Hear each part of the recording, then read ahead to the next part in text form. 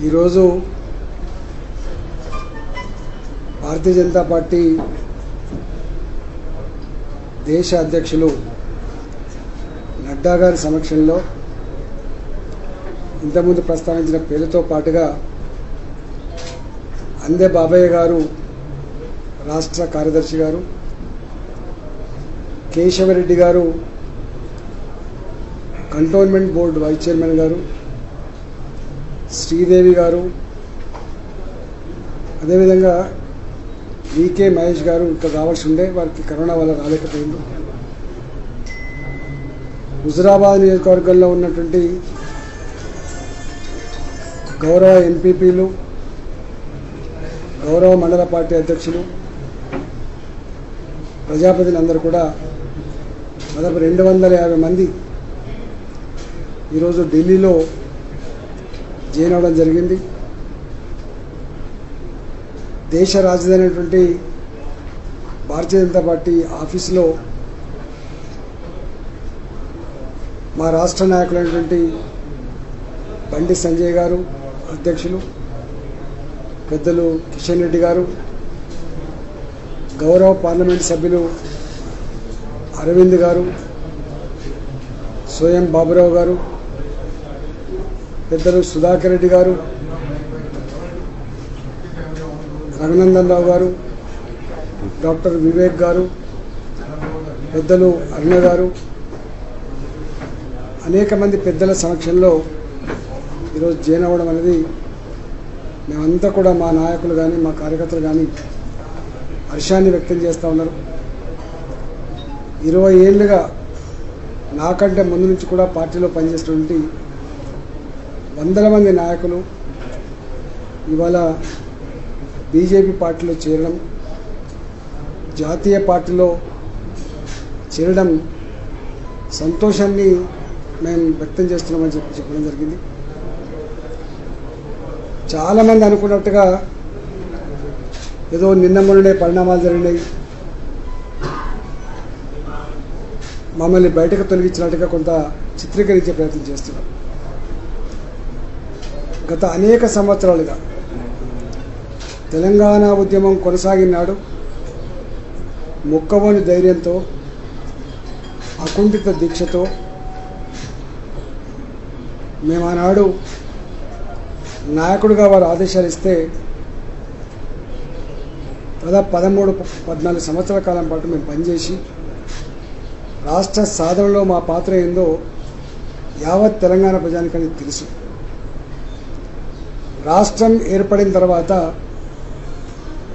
ఆనాటి ఉద్యమ నాయకుడిగా ఉన్నటువంటి కేసీఆర్ గారు రాష్ట్రం చాలా ప్రజాస్వామికంగా ఉంటుంది. రాష్ట్ర పురోగమనం రాష్ట్ర పురోభివృద్ధిలో తెలంగాణ మేధావులకు కూడా స్థానం ఉంటుంది. వాళ్ళ సలహాలు సూచనలు తీసుకుని ఒక పెద్ద కమిటీ వేసి దీన్ని గొప్ప తెలంగాణ తీర్చిదిద్దడమే మా ధ్యేయంగా ధ్యేయం అని చెప్పి వారు ప్రకటించారు. కానీ ఏనాడు కూడా మేధావుల కమిటీలు కానీ సూచనలు సలహాలు కానీ వేయబడ్డ సలహాదారుల కనీసం అపాయింట్మెంట్ కూడా లేక వాళ్ళ సలహాలు సూచనలు పక్కకు పెట్టండి. అపాయింట్మెంట్ కూడా లేక అనేక మంది ఇదేం పరిపాలన అని చెప్పి ముక్కు మీద వేరేసుకునే పరిస్థితి మాలాంటి వాళ్ళం తెలంగాణ ఉద్యమంలో ఆనాటి నాయకత్వం సమైక్య రాష్ట్రంలో నాయకత్వం తెలంగాణ వస్తే కుక్కలు చింపని ఇస్తరాకైద్దని చెప్పి పరిపాలించుకునే నైపుణ్యం లేదని చెప్పి ఏదైతే అందరూ దాన్ని గుండెల్లో పెట్టుకొని ఎన్ని అవమానం జరిగినప్పటికి కూడా ఎన్ని రకాల బాధలు కలిగినప్పటికి కూడా భరించు భరించకుండా నడిపడం తప్ప ఎప్పుడు కూడా బయట పల్లె మొట్టమొదటి నాలుగున్నర సంవత్సరాల పరిపాలన అయిపోయిన తర్వాత ఎన్నికలు జరిగినాయి. ఎన్నికలలో ఎనిమిది ఎనభై ఎనిమిది సీట్లు గెలుచుకున్నాం మేము. ప్రెస్ మిత్రులందరూ కూడా ఆ గెలిచిన సంబరంలో ఆనాడు ముఖ్యమంత్రిగా ప్రెస్ మీట్ పెట్టి అనేక విషయాలు చెప్పినప్పుడు ప్రెస్ మిత్రులు ఒక విషయం అడిగింది. మేము అనుకున్న దానికంటే ఎక్కువ సీట్లు వచ్చినాయి. మీరే విజయం సాధించిండ్రు. ఇప్పటికైనా ఇంటర్నల్గా ప్రజాస్వామ్యం ఉంటుందా? మంత్రులకు గౌరవం ఉంటుందా అని చెప్పి వాళ్ళు అడిగింది వాళ్ళు టక్కన ఒకటే నిమిషంలో ఒకవేళ ఇంటర్నల్ స్వేచ్ఛ కనుక ఉంటే ఏకాన కొత్తలకి కోటి చౌరస్తలు అమ్మకస్తారని చెప్పి స్వయంగా చెప్పిన వ్యక్తి సీఎం గారు అన్నాడు ఆ తదుపరి నూట పంతొమ్మిది సీట్లలో నూట దాదాపు ఎనిమిది సీట్లు గెలుచుకొని రెండు సీట్లు మా రెబల్స్ గెలుచుకుని దాదాపు దాదాపు తొంభై సీట్లు గెలుచుకున్నాం మేము. తొంభై సీట్లు గెలుచుకున్న ఒక పార్టీ దాదాపు మూడు నెలల కాలం పాటు కూడా క్యాబినెట్ వేయలే. ఆనాడు ఉద్యమంలో వారితో పాటుగా రైట్ అండ్ లెఫ్ట్గా పనిచేసిన వాళ్ళు ఇద్దరు. ఒకటి హరీష్ రావు గారు రెండోది నేను కూడా. నేను వారు లీడర్గా ఫ్లో లీడర్గా డిప్యూటీ ఫ్లోర్ లీడర్గా పనిచేసిన మూడు నెలల కాలం పాటు ఒక రాష్ట్రంలో సంపూర్ణమైన మెజార్టీ ఉండి కూడా క్యాబినెట్ నియమించిన ఏకైక రాష్ట్రం తెలంగాణ. మన నమ్మకం లేకనా? సంస్థల మీద నమ్మకం లేకనా? ఇవాళ దేశంలో ఉన్నటువంటి అనేక పార్టీలు కూడా ఆశ్చర్యం వ్యక్తం చేశారు అంటే ఎంత అహంకార ధోరణి. అంటే వారి మా వారి అంతరంగం ఏంటంటే ఈ రాజ్యాంగం ఏంది? ఈ ప్రజాస్వామ్యం ఏంది? ఈ ఎన్నికలేంది ఎన్నికలలో ఎమ్మెల్యేలు ఏంది? ఎమ్మెల్యేతో ముఖ్యమంత్రి ఏంది? ఈ మంత్రివర్గ సాచర్యం లేదనేటువంటి భావన తప్ప అంటే నేను ఒక్కడనే ఉంటే బాగుండు.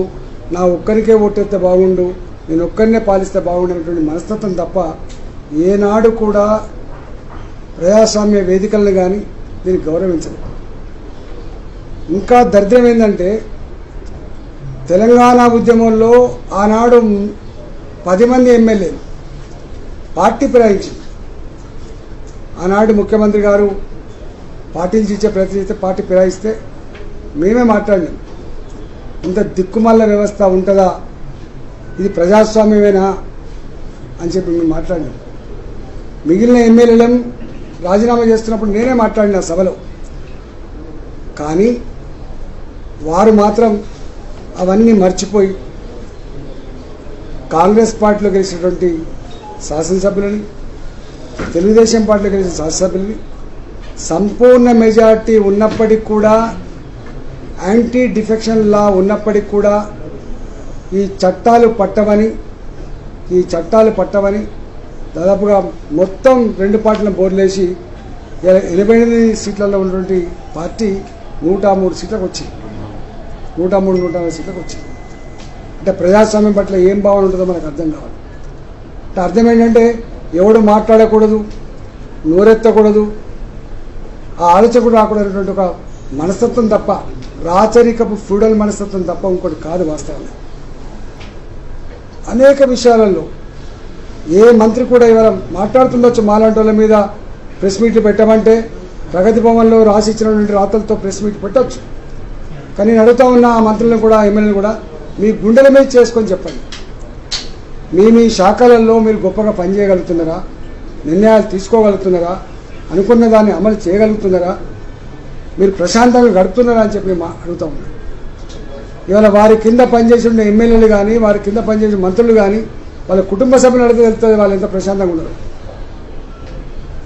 వందల వేల మంది ఉద్యమకారులు. అనేక మంది ఆనాడు వారితో అడుగులు వేసి అడుగులు నడిచిన వాళ్ళు ఇవాళ ఎక్కడ ఉన్నారో ఇవాళ అశ్వత్థామరెడ్డి లాంటి వాళ్ళు మా నెహ్రూ నాయక్ లాంటి వాళ్ళు మా అనేక మంది మా కర్ణాక లాంటి వాళ్ళు కొన్ని ఎంతెంతో మంది నాయకుల నుంచి మొదలుపెట్టి కార్యకర్తల వరకు కూడా ఇవాళ వాళ్ళ ఊసి లేదు. ఒక్క మాటలో చెప్పాలంటే అయిన దాన్నేమో ఆకలిలో పెట్టిండు కాని దాన్నేమో కాని పెట్టిండు. ఇంట్లోడేమో బయటోడు అయిపోయిండు బయట వాడేమో ఇంట్లోడు అయిపోయిండు. ఇది ఇవాళ జరుగుతున్నటువంటి భావన. ఇవాళ కూడా చూస్తూ ఉన్నారు. ఎవరెవరు జైలు చేసుకుంటుందో ఎవరికి ఏ ఏ పదవి ఇస్తుందో వంద శాతం ఇది యావత్ తెలంగాణ ప్రజలంతా కూడా గమనిస్తున్నారు.